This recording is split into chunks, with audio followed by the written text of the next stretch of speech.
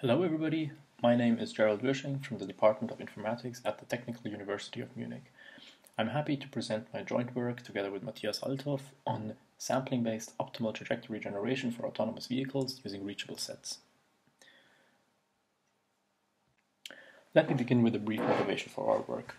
Sampling-based motion planners typically, typically rely on a discretization of the search space. Um, multiple approaches for sampling-based planners have been presented in the past, and one famous approach, which we also use as a motion planner for our work, is the sampling-based lattice planner by Werling et al. This planner samples the terminal states of trajectories and intervals around the reference path, and the terminal states are then connected with the initial states using quintic polynomials, which uh, generates a uniform set of trajectories from which an optimal trajectory is chosen uh, according to some cost function. Um, this is also shown in the figure here on the right side. Now, uh, a major drawback of discretization-based planners is that they typically struggle to detect feasible trajectories in time, especially in critical situations with limited solution spaces. Um, and to address this issue, we dynamically we propose a concept to dynamically prune the search space of the sampling-based planner using reachable sets. Before presenting our concept, I would like to briefly introduce some preliminaries. We define the reachable set as the set of states that the ego vehicle can reach from the previous reachable set without collision, meaning without intersecting with a set of forbidden states. And this set of forbidden states is given by the location of static obstacles and uh, by the prediction of dynamic obstacles. Now, by projecting the reachable sets onto the position domain, we obtain the drivable area, meaning all collision-free positions for the ego vehicle. The drivable area can be disconnected, for example, if there are obstacles uh, in the environment, and uh, that's why we also define connected components or multiple connected components within the drivable area, also referred to as connected sets. Finally, a driving corridor is defined as a temporal sequence of connected sets over a certain time interval. Um, in our work, we represent the vehicle motion in a curvilinear coordinate frame, which is aligned with a given reference path, and this reference path can, for example, be determined by a route planner. And in the curvilinear frame, the position and velocities of the vehicle are basically described by the coordinates s and d, which is the path length along the reference path s and the lateral deviation d to the reference path. For the vehicle dynamics, for the reachability analysis, we simplify the vehicle dynamics using a point mass model. And in this point mass model, um, we have a state vector which consists of the longitudinal and lateral positions and velocities in the curvilinear frame, and we have an input vector which is uh, made up of the longitudinal and lateral accelerations, also in the curvilinear frame. Um, I'd like to note that this simplified point mass model is only used for the reachable set computation, basically for um, computational efficiency, and for planning kinematically feasible trajectories, a single track model is applied uh, later on. Now I'd like to give you an overview of uh, our concept using the simple example of a vehicle trying to evade a static obstacle. At first, we compute the reachable sets for each time step within the planning horizon. Here in this image, on the top, we show the collision-free drivable areas for each time step. Afterwards, we determine a driving corridor uh, for this planning cycle, which is basically this spatiotemporal combination of the reachable sets we determine for each time step. After that, we extract sampling intervals from the driving corridor, which is shown in the image below as the blue um, uh, highlighted blue areas within the different uh, sets of the driving corridor. Um, after extracting those uh, sampling intervals, we sample the terminal states of the trajectories within those intervals, which is represented by the black dots here in this um, uh, in this image below. And uh, finally, we obtain a generated set of trajectories, which we can use for uh, collision and feasibility checking. So for each trajectory, we check whether it collides and whether it's kinematically feasible. And uh, finally, we obtain an optimal trajectory, which is shown in black here, uh, from the set of trajectories uh, using a certain predefined cost function. Now let us go a little more into the details of the reachability analysis itself. In order to compute the reachable sets, we successively carry out the following procedure. We approximate the reachable set at each time step k as the union of base sets. And uh, these base sets are basically propagated according to the vehicle dynamics model that we defined earlier. And um, we obtain a propagated reachable sets at time step k plus 1. And if we project that propagated reachable set onto the um, position domain, we obtain the propagated drivable areas. Now, these propagated drivable areas may overlap, of course, with the set of forbidden states. So forbidden states may be static obstacles or also the prediction of dynamic obstacles. We uh, finally exclude those set of forbidden states from our propagated drivable area and we obtain the updated drivable area at k plus 1 and from that we can also derive the corresponding base sets at time step k plus 1.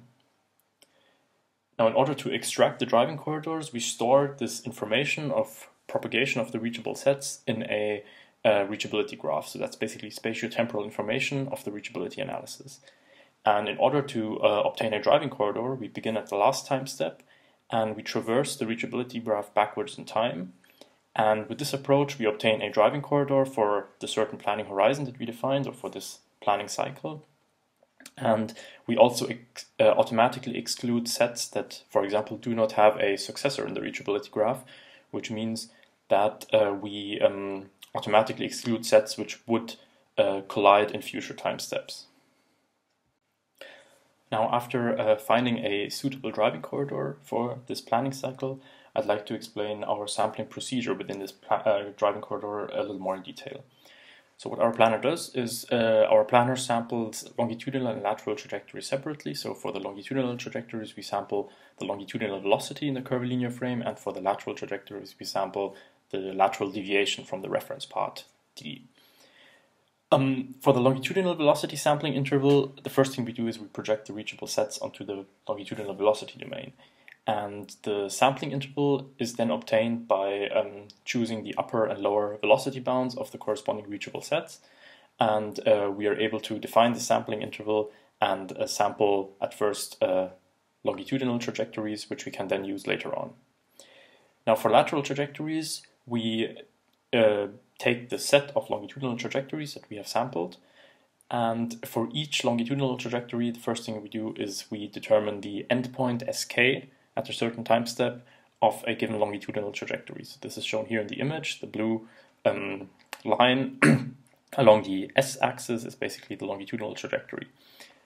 Afterwards, we determine the drivable areas which overlap with this endpoint. So in this case, we can see we have three base drivable areas and two of them are connected. So the ones, two of them on the top are connected and we consider them basically as a connected set as I explained earlier within the drivable area. Um, now, in order to determine which drivable area we want to choose for um, the sampling interval, we uh, choose the connected set which is closest to the reference part. So basically with the least lateral deviation to the reference path. The reason we do that is that our planner aims to minimize deviations from the reference path. And with this approach, we basically tell the planner to sample in the drivable areas if we have multiple options which are closest to the reference path. Now, after explaining the idea of our concept, I'd like to show you some of the results from our experiments. We evaluated our concept using scenarios from the CommonRoad database, which include both static and dynamic obstacles. We compare our approach with a standard approach or a baseline approach, which samples in fixed intervals around the reference path. Uh, in our experiments, uh, dynamic obstacles are predicted using their most likely trajectories, and for all our experiments, we um, plan trajectories for 20 time steps and we replan the trajectories every three time steps.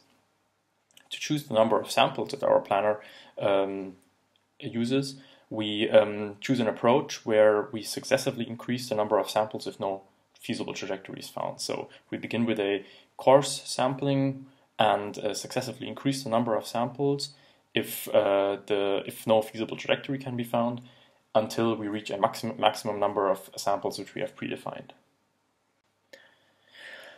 Our first experiment is an evasive maneuver around a static obstacle.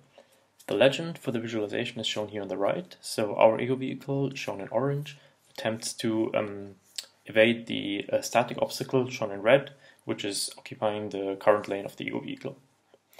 Let us first take a look at the animation of both uh, approaches.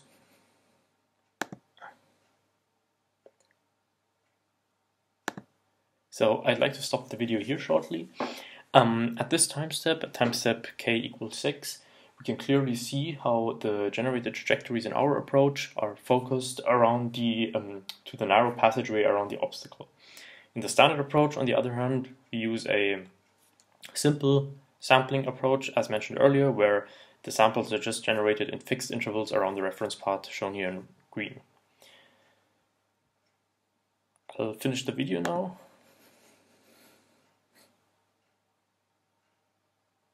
And we can see that after moving around the obstacles, both um, planners are able to complete this evasive maneuver. Now uh, let us compare the computation uh, time and the number of samples uh, that both planners require over the planning cycles. So in the right table you can see for the first three planning cycles, which are the most critical planning cycles in this scenario because uh, the ego vehicle has to try to um, find a feasible trajectory around the static obstacle in, in, this, um, in these planning time steps, we can see that the number of samples n, which are required to find a feasible trajectory, as well as the number of discarded trajectories, which are um, yeah, infeasible due to collision or kinematic infeasible, are uh, significantly reduced by our approach. And uh, this also leads to a significant reduction of the computation time, especially in those planning cycles. So if you take a look at the, at the left image, we can see that especially in the first few planning cycles where both planners have to find a feasible trajectory uh, which evades the static obstacle, so the most critical time steps, we can see that our approach um, significantly reduces the computation time because it simply requires less samples and has to evaluate less samples due to the fact that we uh, focus the sample trajectories around the um, uh, to the narrow passageway which we determine in our driving corridor with the reachability analysis. So uh, we also increase the criticality of the same scenario by enlarging the obstacle and moving it closer to the ego vehicle. And this modification reduces the solution, solution space even further and makes the scenario even more channel, challenging for the sampling-based planner. And uh, what we can see here now in this evaluation for the increased criticality, that the um, uh, decrease in computation time and also the reduced number of samples and discarded samples that both planners require is, significantly uh, more uh, um, noticeable than in the previous uh, example. So this shows us that the um, benefits of our approach become particularly noticeable in situations where the solution space is very small, so especially in safety critical situations. Now, in order to evaluate our approach in the presence of dynamic obstacles, we consider this merging maneuver on a highway. In this scenario, the ego vehicle attempts to perform a lane change and merge into a tight gap between two vehicles. Um, this maneuver is especially challenging as the planner has to detect the narrow gap at first and also determine a feasible velocity in order to not collide with the preceding vehicle.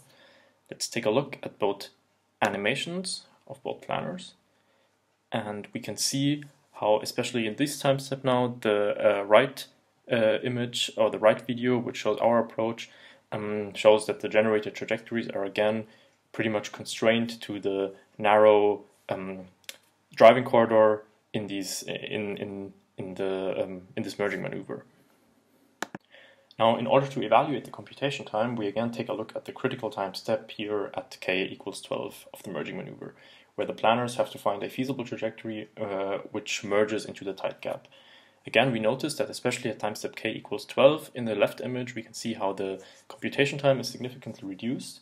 And in the right image, which is a snapshot of both videos or both animations at this time step, we can see how um, our proposed concept, as mentioned before, uh, constrains the generated or the sample trajectories to this narrow driving corridor, especially um, uh, in this critical time step k equals 12, which leads to a significantly improved detection of the narrow merging gap. Finally, let me conclude our work. We propose a concept for a sampling-based motion planner using reachable sets. Our approach first computes collision-free driving corridors via reachability analysis and then adapts the sampling intervals for our motion planner to the dynamically changing environment.